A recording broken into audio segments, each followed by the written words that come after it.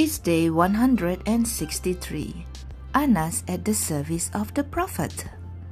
Next to the Prophet's house in the Sufa, Anas, the adorable child, settled down. In the morning, he used to get up before anyone else to run to serve the Prophet. He used to pray every morning behind the Prophet. Anas' father had died many years ago. His head was always down because being fatherless was making him sad. But from now on, there was someone who could who would love him and protect him like a father.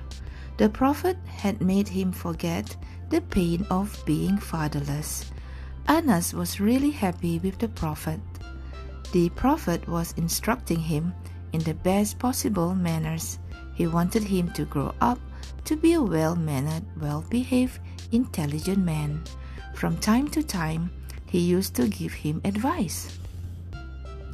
My son, when you leave your house and meet the Muslims without leaving anyone out, greet them all.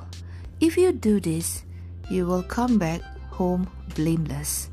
As you enter your house, also greet your family. This will bring blessings to you and to your household. Because the Prophet loved and was so close to Anas, he would often make jokes with him.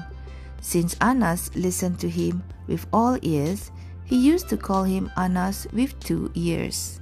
Anas would respond to this word smiling, and he would listen more attentively. He wanted to be with the Prophet for his whole life. He was happiest when the Prophet was weaving every word into his heart like weaving a carpet. My son, don't have any hatred in your heart against anyone. If you are able to remember this is my sunnah, my tradition.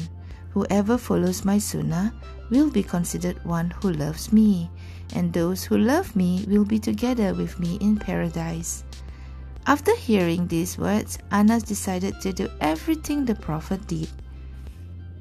These things were and are still called the Sunnah. The Prophet even taught him how to drink water. Drinking water in three breaths would rid you of your thirst even better. It was healthier. Anas would practice whatever he heard from him throughout his whole life. He had made up his mind in this matter. Gradually, he was realizing what a priceless thing it was to live with the Prophet.